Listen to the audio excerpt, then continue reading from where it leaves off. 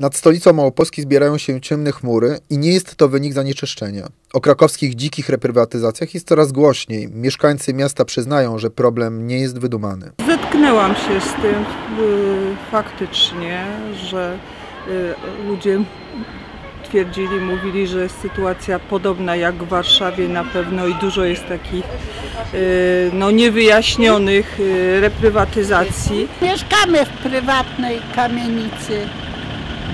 Nie wiem, czy ona jest legalnie sprywatyzowana, czy nie. Ministerstwo Sprawiedliwości powołało zespół do zbadania prywatyzacji kamienic w Krakowie.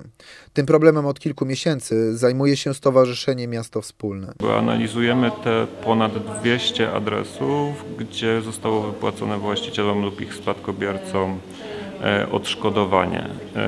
Jeśli chodzi o skalę e, całej dzikiej reprywatyzacji, jeśli weźmiemy pod uwagę wszystkie kamienice, to jeśli wierzyć politykom takim, które miały nieuregulowany stan prawny w latach 90., to było 600. Jedną z nieruchomości, która miała zostać zwrócona niezgodnie z prawem, jest kamienica znajdująca się przy ulicy Bożego Ciała 7. Zdaniem Tomasza Leśniaka część budynku powinna wrócić do Skarbu Państwa. Gmina starała się, żeby tą kamienicę, żeby umowę sprzedaży w przypadku tej kamienicy unieważnić na drodze sądowej, natomiast bezskuteczne były to starania. To już ulica Skałeczna, kamienica położona w ścisłym centrum Krakowa. Jej mieszkańcy w styczniu otrzymali zaskakującą wiadomość. Wrzucono nam do skrzynek listy z informacją, czyli nawet nie zaadresowane do, do, na konkretne nazwisko, tylko wrzucone, że, prawda, że jest w trakcie sprzedaży, że już mamy się kontaktować niby z nowym nabywcą.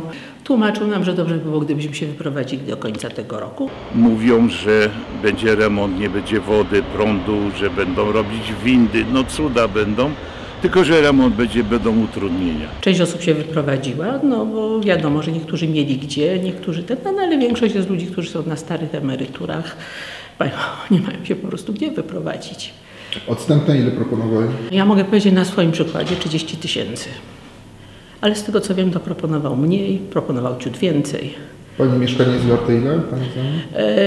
Z tego co e, się orientowałam, to jest warte około 800 tysięcy. Za 20, za 30 tysięcy w Krakowie można kupić jakieś mieszkanie? Nie, proszę pana, nawet pan nie kupił łazienki. Pan Jacek Kwiatkowski mieszka w Krakowie od urodzenia. Mówi, że nielegalne zwroty kamienic w jego mieście to norma. Ten proceder obserwuje od lat. W Krakowie na Kaźmierzu to jest Ducka, proszę pana. No. Ja się tu wychowałem, to wiem ile je. To nie tylko ja wiem, ale wszyscy tu wiedzą, ci co jeszcze zostali. Opowiada, że do lokalu kiedyś przyszła kobieta podająca się za właścicielkę kamienicy, w której pan Jacek prowadzi zakład.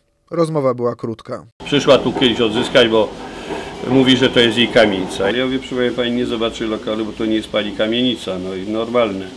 No jak pani chce iść siedzieć, to pokaże, a to przepraszam, pomyliłam kamienicę. No. Złotnik przyznaje, że wiele nieruchomości zostało zwróconych dzięki prawomocnym wyrokom sądów, jednak jego zdaniem jest pewne ale. Odbudowali tą Warszawę. A w Krakowie nie było zniszczenia takiego, tylko teraz przyszli, porobili sobie różne machlojki z układy. Trzeba dojść do sędziów, ile mają kamienic. To jest najprostsze, ile mają kamienic sędziowie, to będzie pan wszystko wiedział. Witold Gadowski, dziennikarz śledczy, który zajmował się reprywatyzacją krakowskich nieruchomości, twierdzi, że miasto trawi korupcja. O ile w Warszawie y, jest możliwe wyśledzenie różnych rzeczy i, i postawienie nawet zarzutów, o tyle w Krakowie bez pojawienia się ekipy z zewnątrz jest to niemożliwe.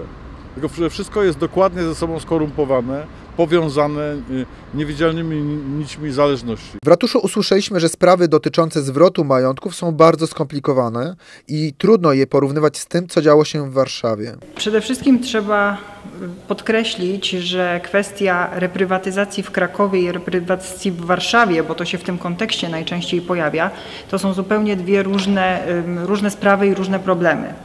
O, o ile w Warszawie decyzje o wydawaniu nieruchomości podejmowali urzędnicy, o tyle w Krakowie mamy do czynienia e, tylko i wyłącznie z decyzjami e, sądów. Miasto zajmuje się w tej chwili mniej więcej 200 sprawami.